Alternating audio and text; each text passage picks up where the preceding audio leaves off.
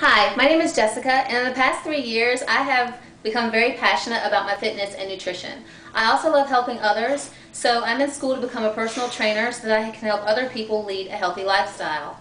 Um, I'm also going to be competing in my first bodybuilding show, the Bikini Division, this November. Since incorporating First Step Pro Wellness into my diet, I have found that my mood and my energy levels have both risen. My daily supplementation consists of First Steps protein powder, glucosamine for my joints, the multivitamin, and I've also been taking the B12 shots to give me more energy to help me out through my hectic schedule. Um, I decided to become an ambassador because I wanted to share my story and I also wanted to help promote healthy living.